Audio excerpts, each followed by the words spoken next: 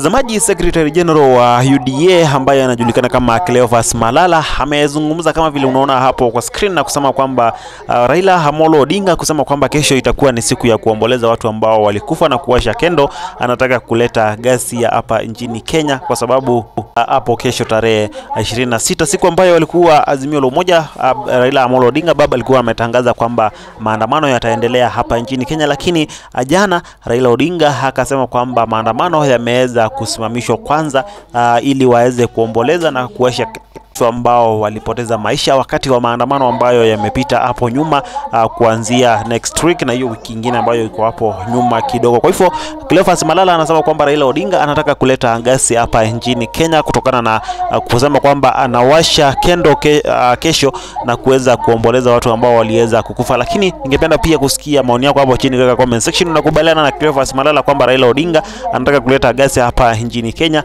ama unasema namna